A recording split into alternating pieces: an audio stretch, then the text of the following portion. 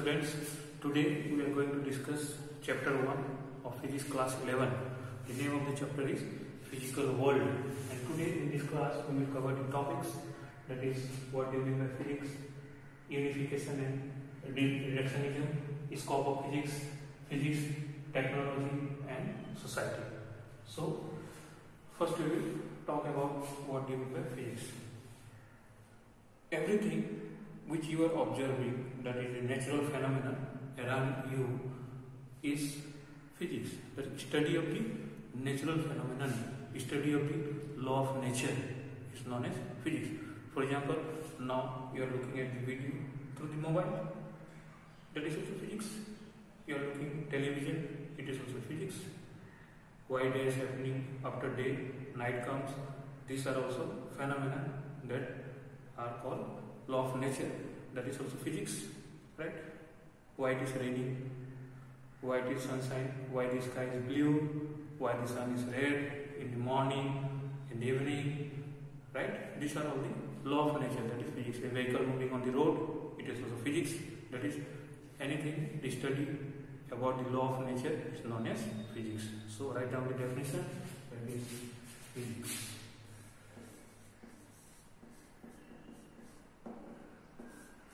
study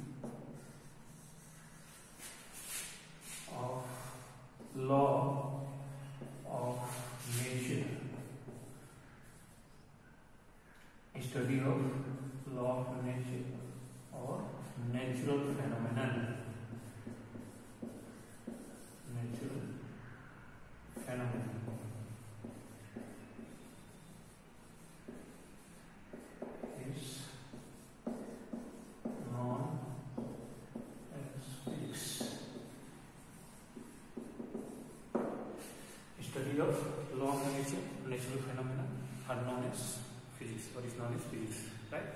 So, in physics, there is two principles, right? Divided into two principles. The first is your unification and other is your reductionism, right? So, what first we will discuss one by one. First, we will discuss about the unification. Then we will discuss about the reductionism. That is two principles of physics. Basic two principles of physics. Right? First is your unification.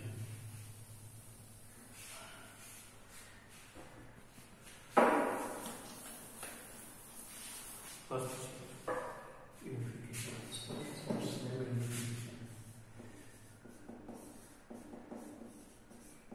Unification. See. Unification is study of different different phenomena under one law. Study of different different phenomena under one law is known as unification. For example, apple is falling, white is falling due to law of gravitation. Earth is revolving around the sun, white is revolving due to law of gravitation. Right? That is moon is revolving around the earth. Why? It is under law of gravitation. That is, there are different phenomena. For example, apple is falling one phenomenon, earth is revolving another phenomenon, moon is revolving another phenomenon, but all are governed under one basic law, that is law of gravitation. So, unification means different phenomena are studied under one basic principle or one basic that is law that is known as unification. So, going by the definition, that is study of different phenomena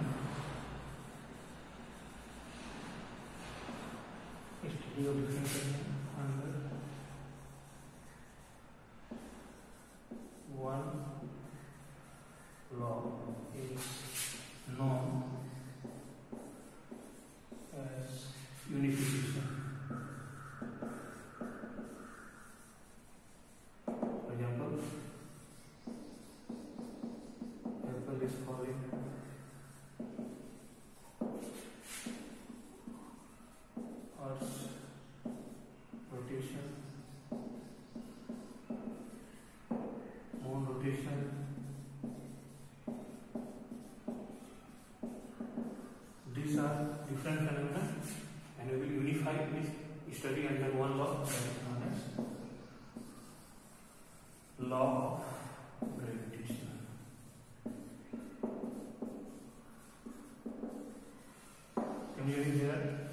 many phenomena, we for example, law of conservation of energy, right?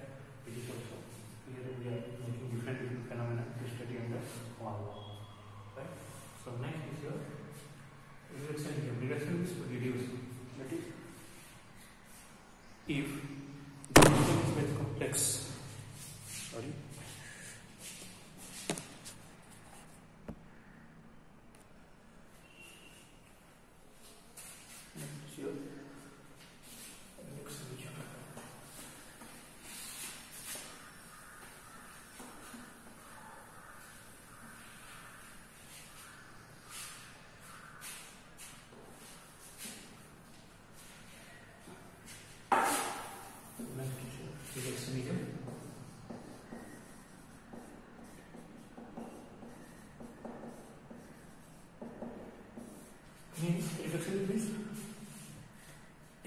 complicated bigger problem. Is divided into small small simple problem. A complicated bigger problem divided into small small simple problem and then making the solution. Or a bigger problem divided into small problem and that small problem will be very simple. We can solve it and at last in a whole we can solve the complicated bigger problem. Right? For example I am kicking a football from here. It is going and hitting one mug kept on the table and mug will fly away. If I ask up to what distance the mug will fly. So it will be very complicated. Or up to what height mug will fly. It is a very bigger problem.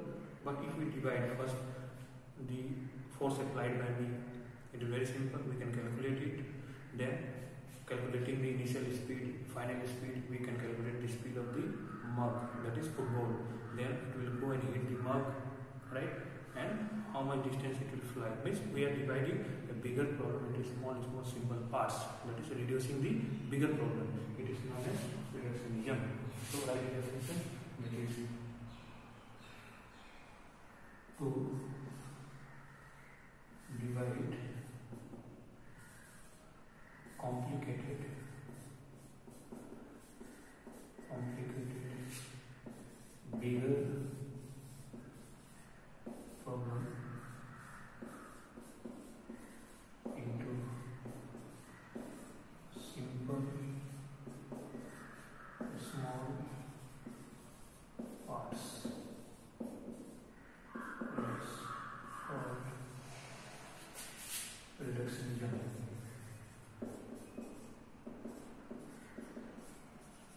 just to divide the bigger problem into smaller small parts known as reductionism. Right?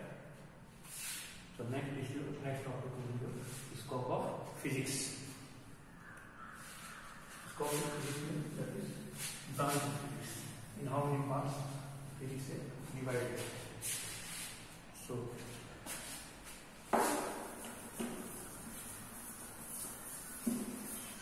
next is scope of physics. Scope of physics.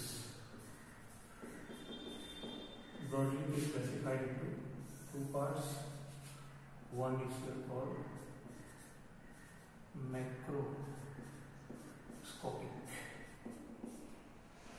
and other is microscopic.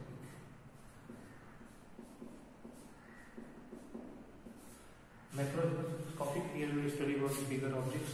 For example, the rotation of the planet. That is how light travels. With the object which are bigger and which we can see. That is macroscopic. Here we will about the very minute particle that is atom, nucleus, electrons. That is called your microscopics. These are very small branches of physics. So these are also known as classical physics. Classical physics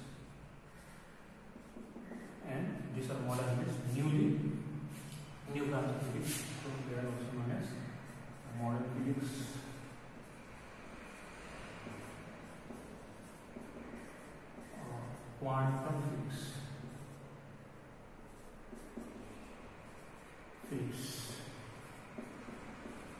Here we study about the bigger objects. Here we study about the small objects. Now this microscopic or classical physics is further divided into four parts.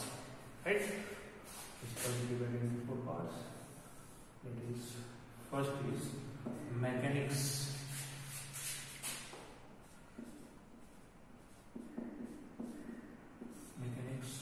Second is the thermodynamics.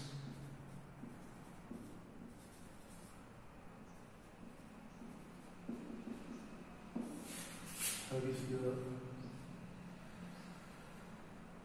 electro electromagnetism